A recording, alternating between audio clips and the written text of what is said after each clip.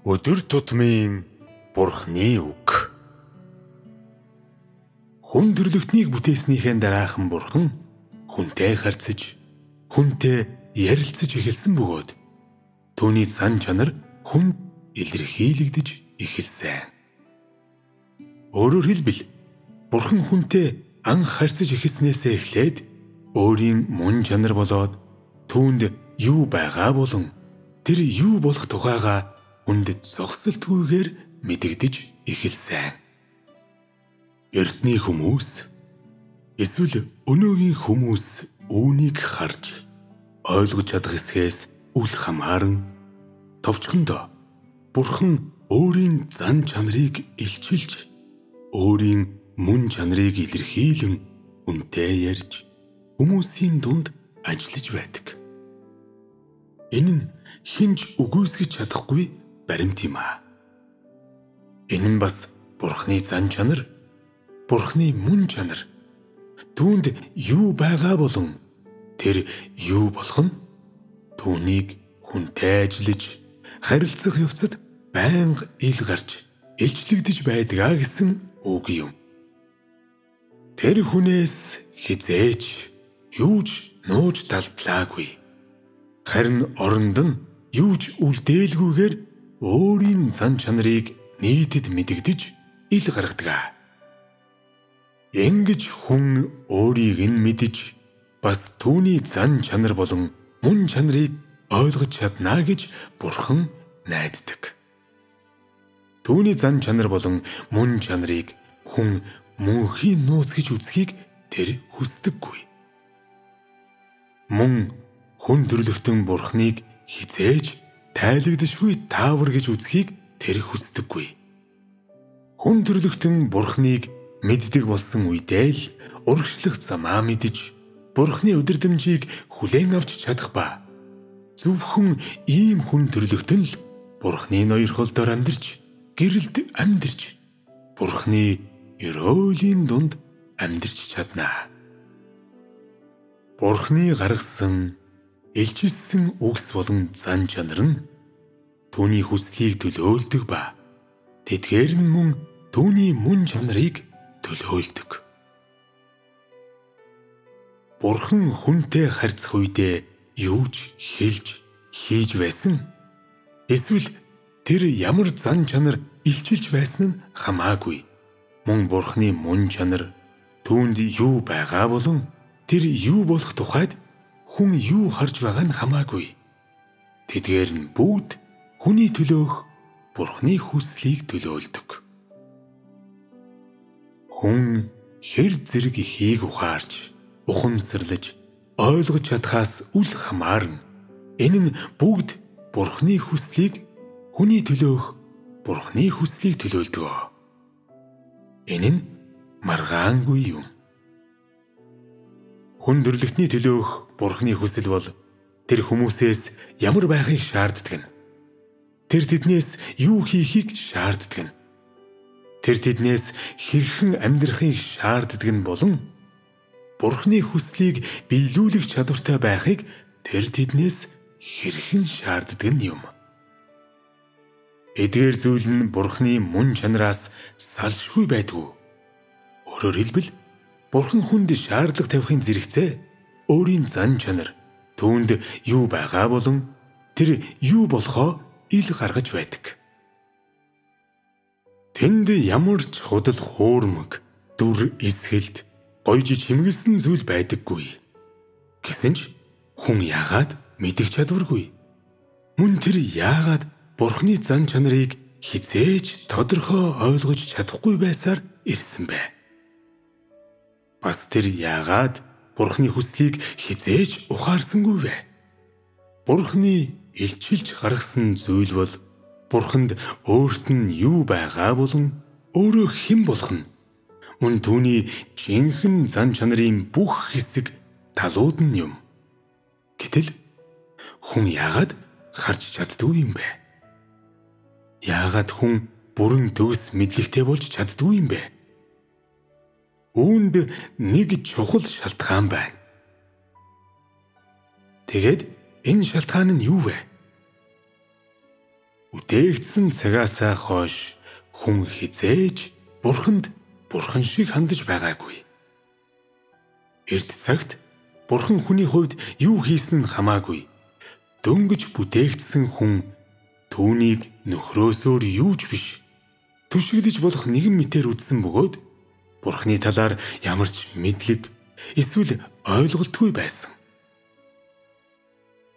Өөрөөр хэлбэл тэр энэ оршихуйн ил гаргасан зүйлийг мэдээгүй.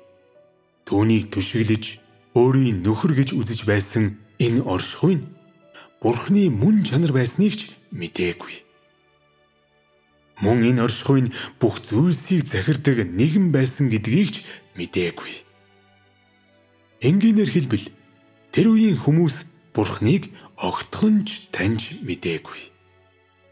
Тэнгэр, газар болон бүх зүйлсийг тэр бүтээсэн гэдгийг тэд мэдээгүй бөгөөд тэр хаанаас ирсэн цаашлаад тэр хэн байсан гэдгийг тэд мэдэхгүй байсан.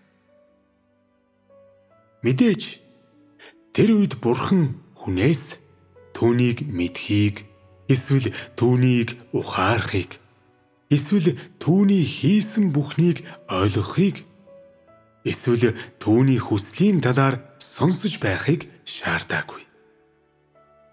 Учир нь энэ бол хүн төрлөختнийг бүтээсний дараах хамгийн эртний цаг үе байсан юм. Хуулийн эрен үеийн ажилд бэлтгэж эхлэх үедээ Бурхан хүнд зарим нэг зүйлийг хийсэн бөгөөд мөн Бурханд хэрхэн тахил өргөж шүтэн мөргөж байхыг хүнд хэлж хүнээс зарим зүйлийг шаардаж эхэлсэн.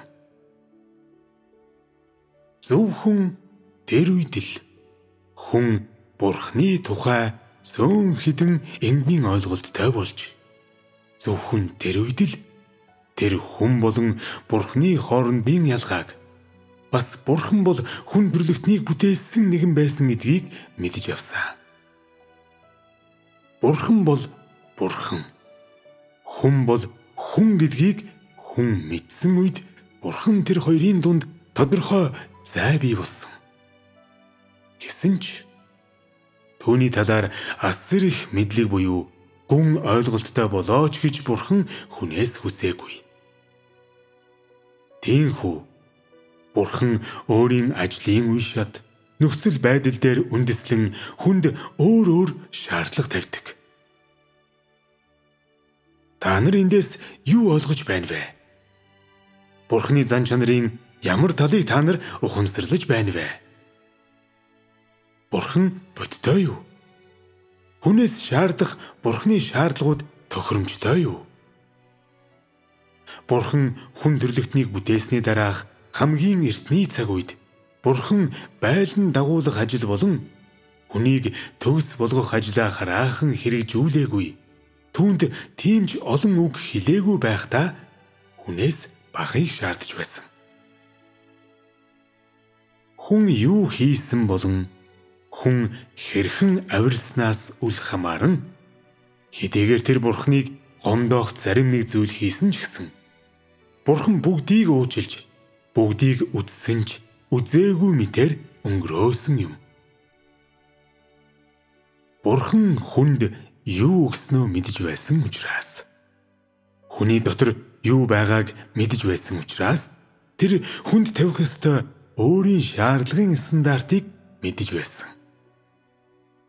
Хэдийгээр түүний шаардлагын стандарт тэр үед маш бага байсан ч гэсэн энэ нь түүний зан чанар агуу биш байсан. Эсвэл түүний мэрэгэн ухаан болон төгс хүчит байдал нь хоосон үгнээс цаашгүй байсан гэсэн үг биш юм аа. Хүнд бурхны зан чанар болон бурхныг өөрийг нь мэдэх цорын ганц зам байдаг нь Бурхны удирдлагын ажлын алхмуудыг дагж Бурхны хүндрэлтэнд хилдэг үгсийг хүлээн зөвшөөрөх явдал юм. Бурханд юу байгаа болон тэр юу болохыг мэдээд Бурхны зан чанарыг мэдчихэд хүн бас л өөрийн үнэн биеийг харуулаач гэж Бурханаас гойно гэж үү? Хүн тэгэхгүй, тэгэж зүрхлэхгүй.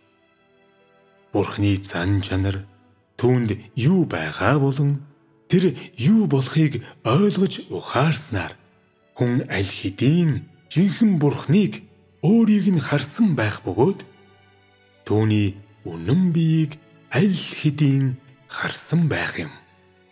Энэ бол зайлшгүй үр дүн билээ.